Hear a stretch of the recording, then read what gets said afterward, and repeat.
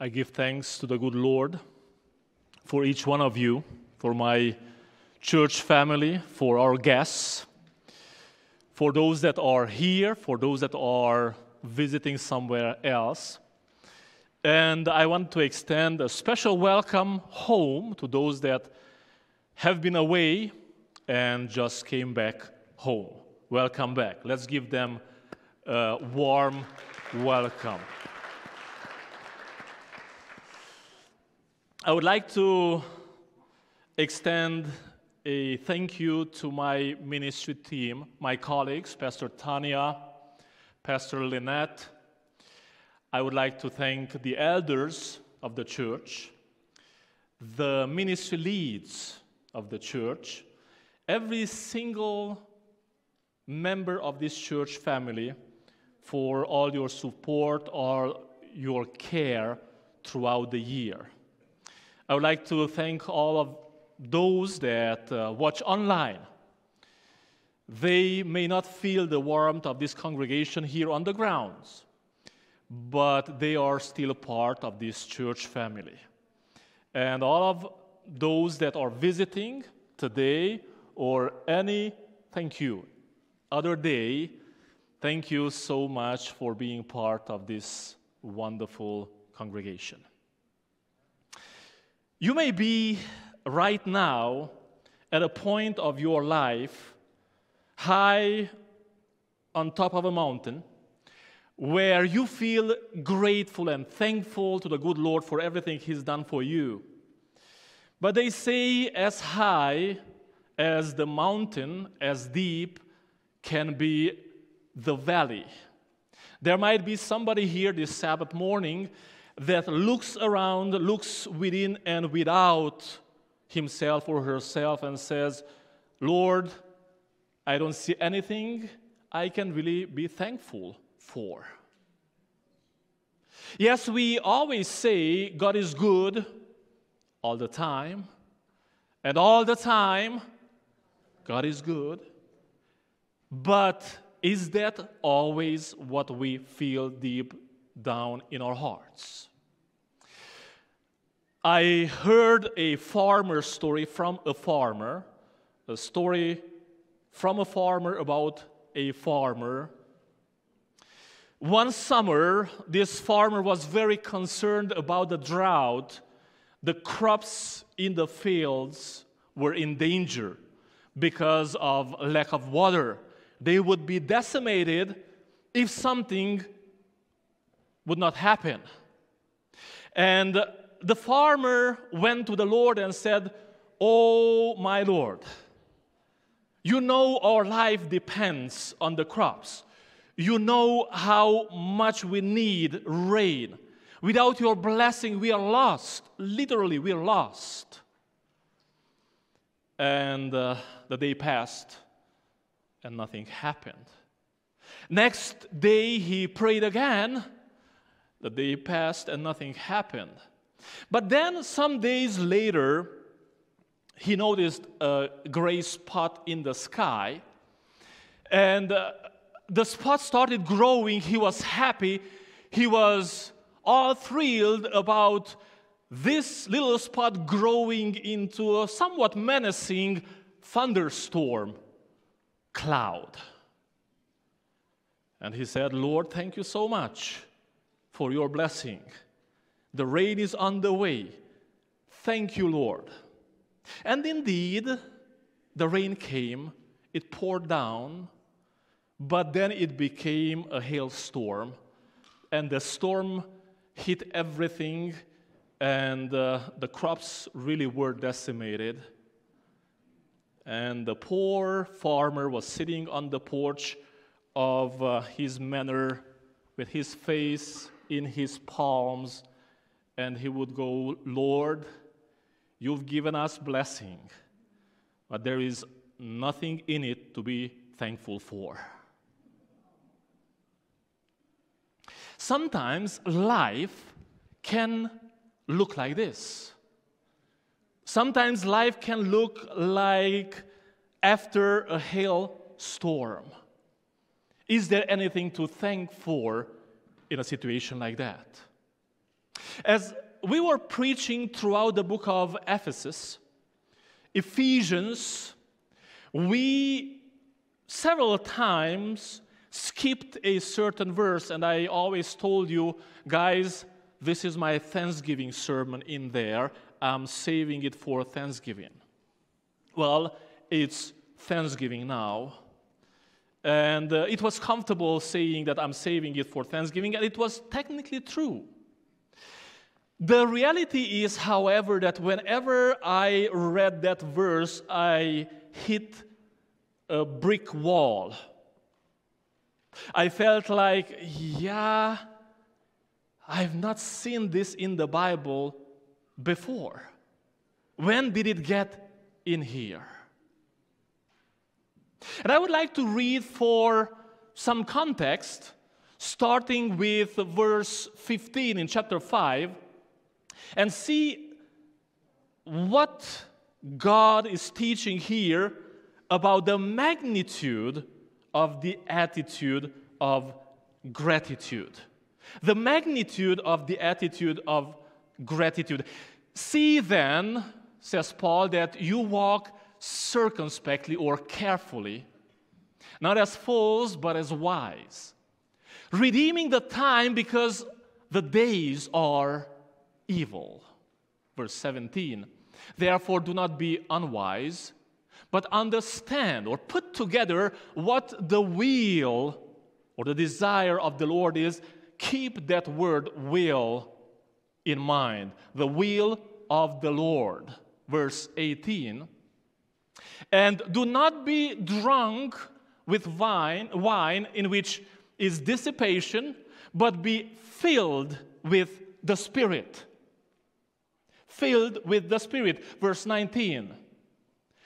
And here, one after the other, you have three verbs that end in ing speaking to one another in psalms and hymns and spiritual songs. We spoke about that. But then I skipped verse 20 and uh, spoke about verse 21 submitting to uh, one another in the fear of God. What is that verse about that I skipped? I would like to read from my Bible, Ephesians chapter 5, verse 20. Giving thanks to God the Father in the name of our Lord Jesus Christ. But where you can see those dots, there are some missing words. Don't move the picture yet, please. Please, somebody tell me what the missing words are giving thanks. What? Always, that's a big word. Always? Well, listen, ever since I was a child, I was taught that if somebody gives something to me, and usually you would get something nice, you know, and what do you say? Thank you, if you can catch it. Right? But this says always. So what if if I throw this to you?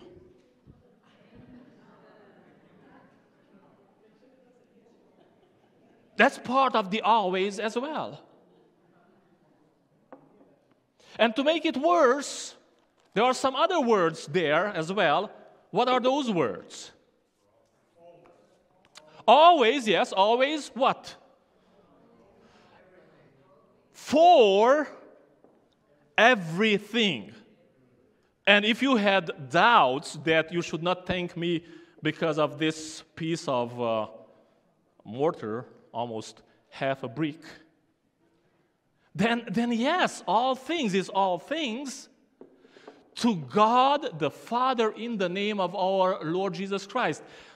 It's popular today out there to emphasize the attitude of gratitude. We do teach our children to be grateful. I know your brother got one, you have to get one too. All right, go for it. And you say what? What do you say?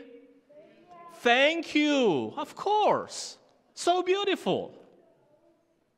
And if you keep an eye open and uh, your ears focused, you will see that this is a mantra of coaching, of personal training, of uh, motivational speakers out there. Everybody will encourage you to be thankful. For what? For all the blessings, small or big, that come into your life. Problem is, life does not only throw blessings or things that you may perceive as blessings at you, life sometimes throws bricks. And uh, speaking about motivational speakers, I don't know if you're aware of the fact that Ellen G. White, in uh, an age where motivational speakers were not that present, she was talking about thanksgiving, about giving thanks. She says, nothing tends more to promote health of body and soul. Yeah, did you know that uh, science has kind of confirmed today that if you are thankful, you can live longer? Hey, it's worth being thankful. And if you are thankful, you have a good chance of avoiding a personal meeting with uh, that guy with a German name called Alzheimer. Only for these health benefits, it would be worth being thankful, wouldn't it? But watch this. In 1905, when Ellen White wrote Ministry of Healing, she knew about the health benefits of uh, thanksgiving, of gratitude. Nothing thanks more to promote health of body and soul than does a spirit of gratitude and praise. It is a positive duty to resist what? Melancholy. What is that? Ah, that's it. In those days, they didn't use the word depression. Now, everywhere, everywhere about depression, about depression, about depression, she uses that fancy word that seems to be poetry. No, it's the same concept. Resist melancholy or melancholy, discontented thoughts and feelings as much a duty as it is to pray. Wow, that is something. And then she goes on, like a motivational speak- speaker, telling us how important it is to educate ourselves. Not only to educate our children to be grateful, to be thankful, to say thank you, thank you. No. It is about educating ourselves. Let then us educate our hearts and lips to speak the praise of God for His matchless love. Let us educate our souls to be hopeful and to abide in the light shining from the cross of Calvary. That's the light of salvation. And she moves one step further. And she says, Have we not reason to be thankful every moment? Oh, every moment? Thankful even when there are apparent difficulties? In our pathway. And then she quotes a Bible verse. Watch that Bible verse. In everything, please keep that in mind. In everything, the preposition is what? In. In everything, give thanks, for this is the will of God in Christ Jesus concerning you. The will of God is to give thanks in everything. 1 Thessalonians chapter 5, 18. This command is an assurance that even the things which appear to be against us will work for our good. But this verse that she uses there, appears in uh, another verse, very similar, Philippians chapter 4, verse 6. Be anxious for nothing, but in everything, by prayer and supplication, with thanksgiving, let your requests be made known to God. What does it mean in everything? Well, the most common interpretation of in everything is this no matter what situation you are in, good or bad, you should always find something to be thankful for. Now, that thing you are thankful for could be something that is in that situation or something else, something from the past, present, or future. Just find something. Even if you have to make abstraction of the situation you're in, you should find something and focus on that something and give thanks for that something. Like in the classical story of the guy that was robbed. You probably know this story. The, guy, the guy was robbed and he was thankful. He said, Thank you, Lord, because I've never been robbed in the past. and then he went on and said, Thank you, Lord, because they robbed my purse, but they did not rob my life. How about that? Thank you, Lord, because although they took all I had, I didn't have too much to take. Thank you. And thank you because I was robbed and not I who robbed. Thank you, Lord. So you can think like this you're in a situation but you are projecting and you are thankful for something else from a totally different situation. But my Bible verse for today is not like this. It doesn't say the exact same thing. I wish it had said the same thing. I wouldn't have hit the brick wall. Let me show what my Bible verse for today says. Ephesians 5, verse 20. Give thanks always, not in everything, but what? Oh, that's a different situation. For all things. And I put there the Greek words pantote, which is always, and panton, which is all, for all, which means all things and all people. In other words, if I throw this brick at you and hit you, you should be thankful for the brick and for the one that threw the brick. Doesn't sound good. Let me give you an example.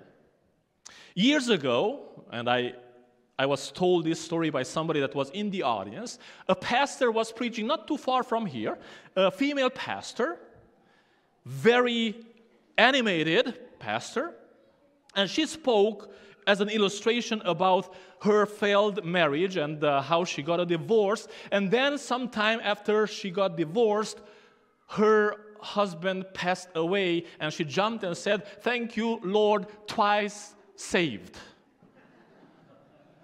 now, you can imagine what the reaction of the congregation was to that. Pastor, are you okay?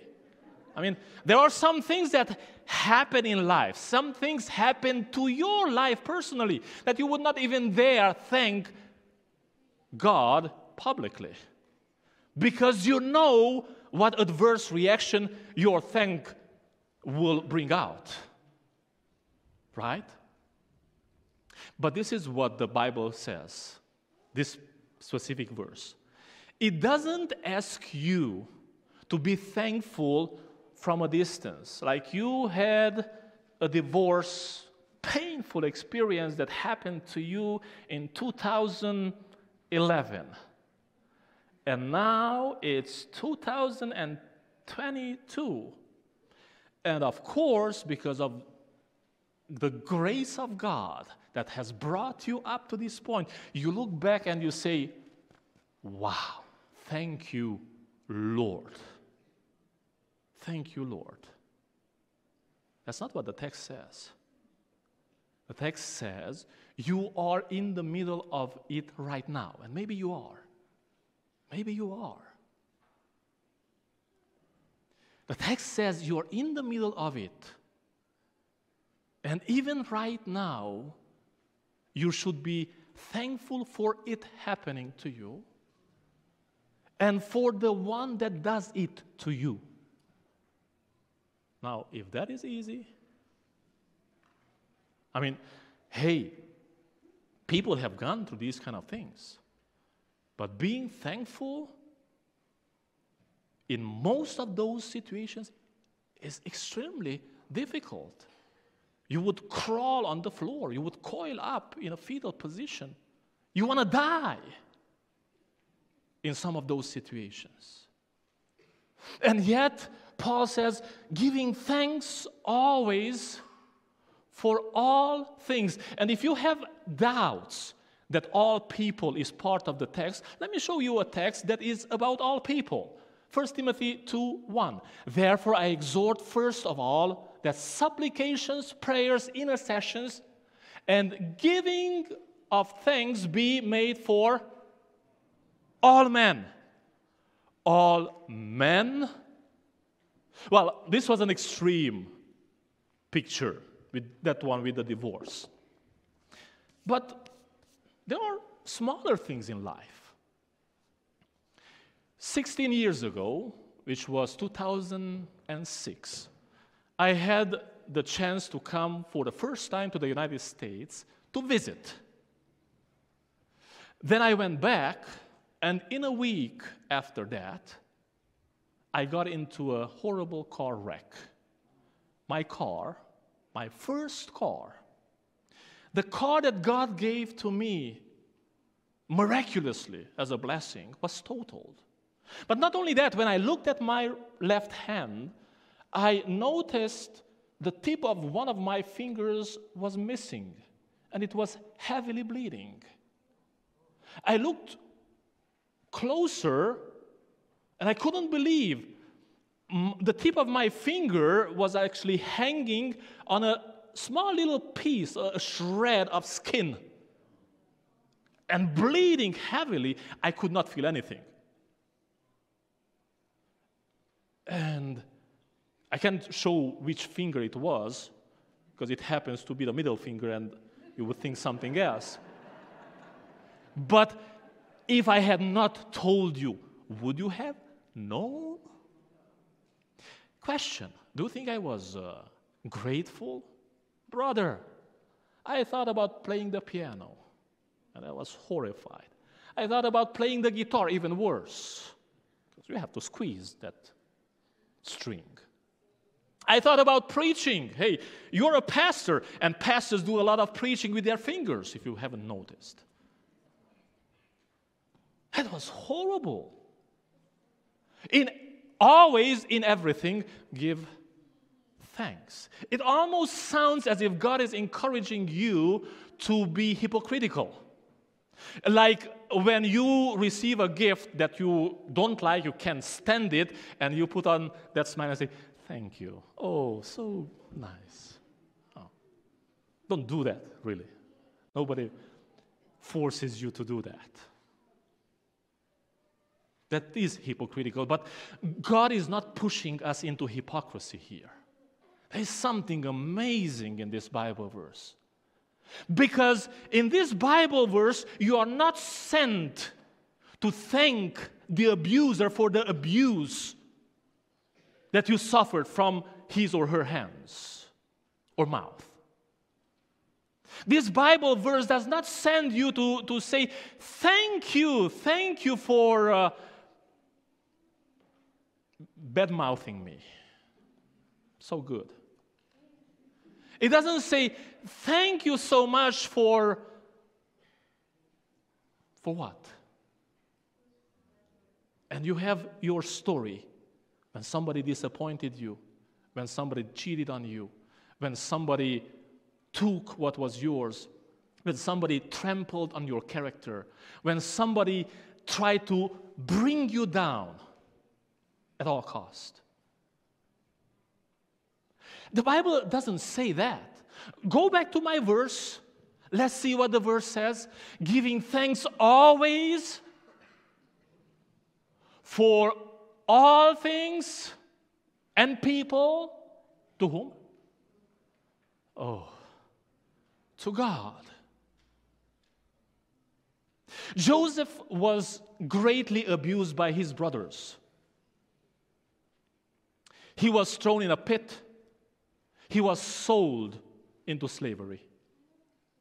And later on, Joseph meets his brothers, and three times he mentions, Hey guys, God brought me here.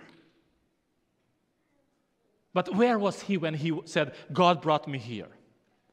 Well, he was in the palace of Pharaoh. Of course, God brought him there.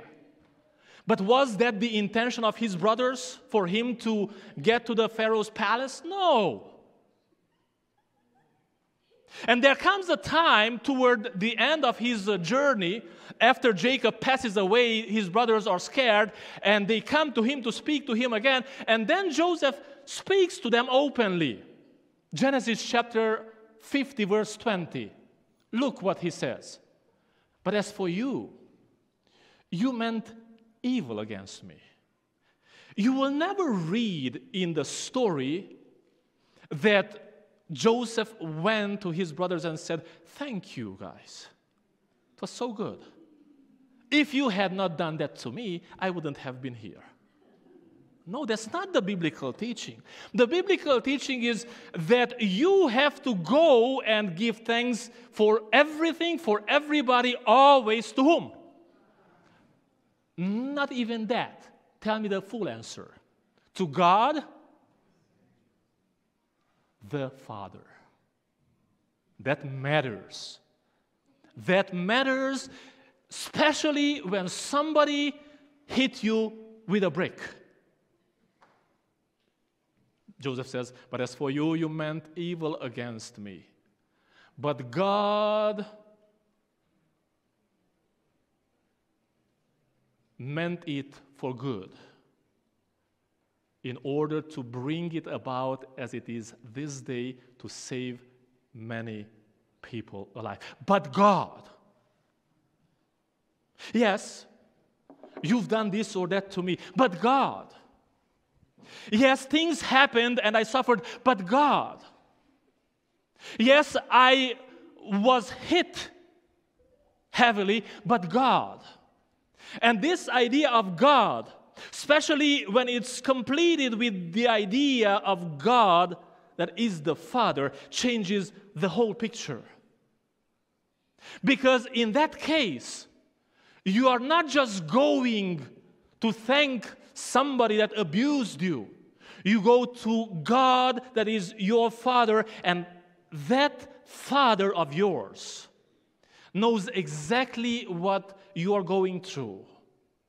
And watch this in a way, whenever somebody throws a brick at you and the brick hits you, it came from whom? Biblically. From? From the Father. It's almost like saying that it is God the Father that hit you with a brick. Is that heresy? No. Go to the story of Job.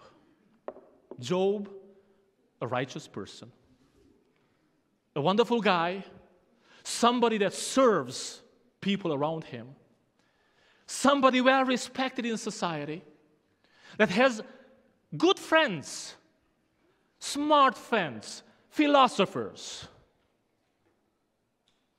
And he loses everything. Nearly all his family is gone. And what does Job say? Job chapter 1, verse 21. The Lord, who? The Lord gave. Yes, this, this is true. And the Lord has taken away. So who threw the brick?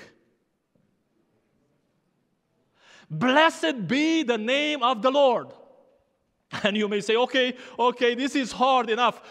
No, no, no, this is not the end of it. This is just an attitude of gratitude. Watch and see the magnitude of the attitude and of gratitude. What is that? Job 13, verse 15. After he lost everything, after all his family is gone, his wife is still alive, but she's gone too, in a way. And now his health is compromised, big time. Job says, verse 13, uh, chapter 13, verse 15, though he slay me, yet I will trust him. Now tell me what kind of thankfulness is that? Though he slay me, yet I will trust him. He never went to the devil and fight with him. Never quarreled and said, Hey, you did this to me. He went to the Lord, yes, had those fierce conversations with the Lord, but the default attitude by which he went to the Lord was the Lord gave, the Lord has taken away. Blessed the name, blessed be the name of the Lord. I don't know how you feel about this, but when I hit this Bible verse as a wall several times in my process of trying to understand the book of Ephesians, I was like, nothing what I knew before is, is like this. I was taught to be thankful for the blessings. Never was taught to thank God because somebody threw a brick into my head. And now I realize, in some instances of my life, how different my experience would have been. My father passed away four years ago, almost four years, of lung cancer. And I had to go back to Romania for the burial, for the funeral service. You think I was thankful? I would have been thankful, quite honestly. I would have been thankful because when somebody passes away after suffering greatly, and he, he had to take morphine for his pain, I would have been thankful had he passed away the way I think he should have passed away. I have three brothers. One is older, two are younger. And my father, in his final years, had a very strained relationship with all three of them. And uh, sometimes I even had the feeling that now he will try to put me bumping heads with them. But I was praying and I was hoping, like really hoping, that knowing that he was sick, he will somehow come back to his senses. And he will have that moment of uh, reconciliation, of closure with my brothers. And when he will pass, we will all be thankful. Never happened. And you can imagine the four of us standing by the grave side in the order of our birth, thinking probably about the same thing. He could have died differently. It can make it worse if I tell you he was a Seventh day Adventist. Or was he?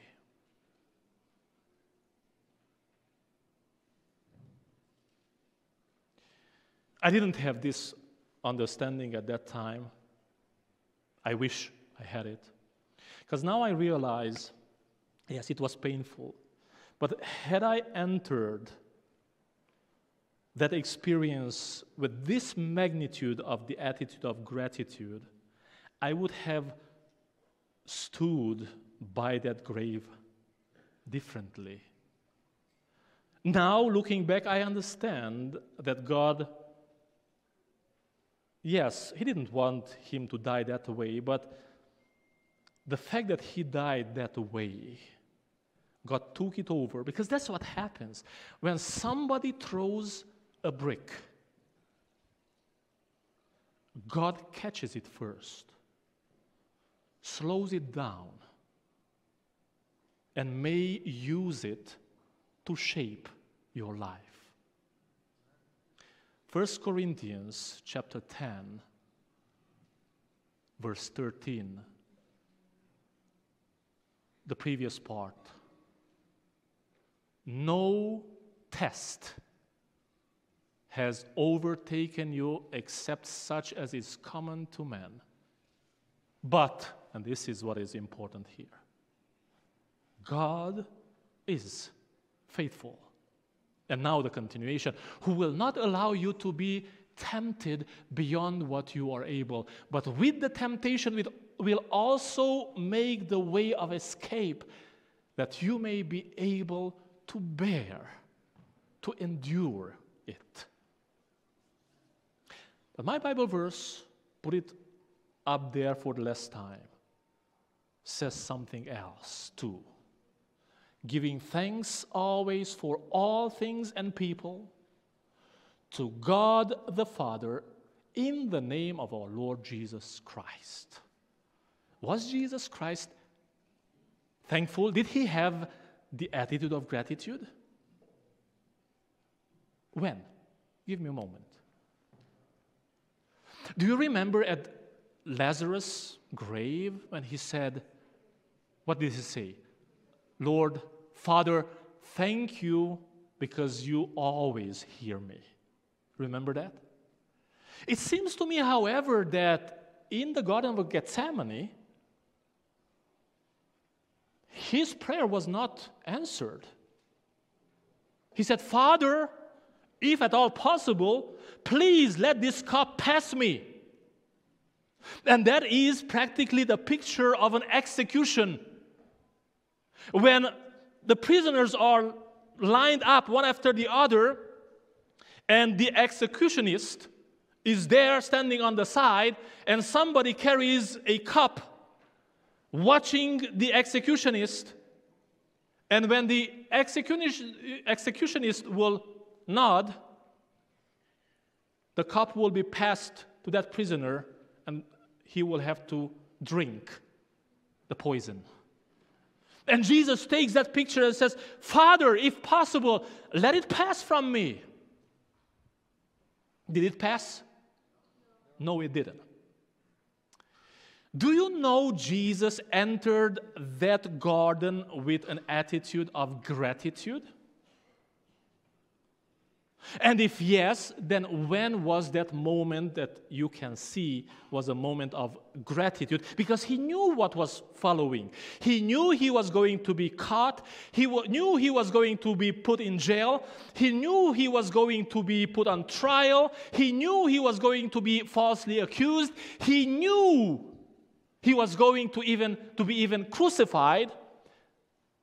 And he had a moment of thanks to the Father before. Do you know when it was? Not long ago, I preached from the exact same passage, and at that time, I didn't understand fully what was happening.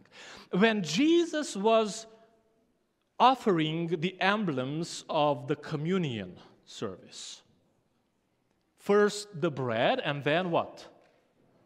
the wine.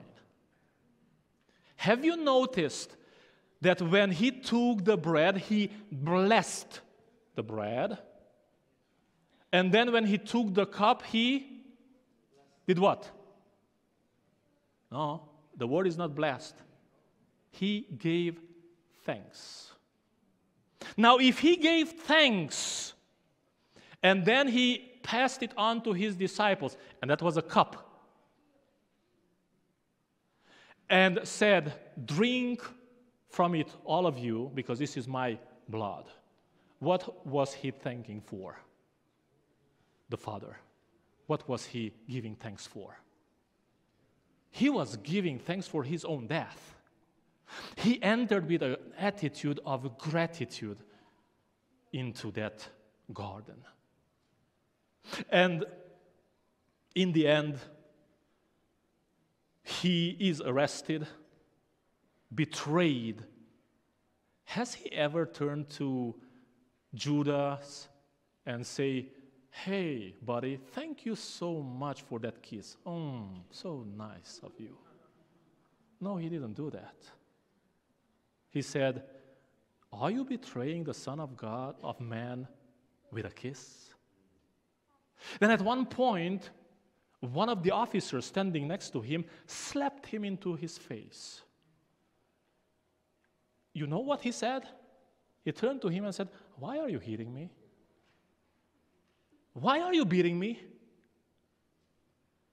And yet, the attitude of gratitude was there. Without that attitude of gratitude, he could have never said what he said on the cross Father, forgive them because they don't know what they are doing.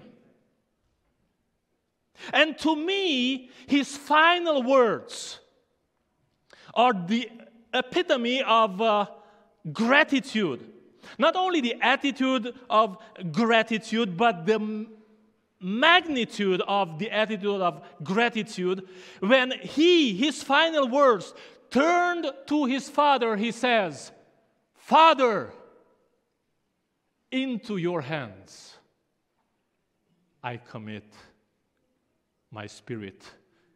And that's another way of saying, Father, thank you for everything and for everybody. Amen.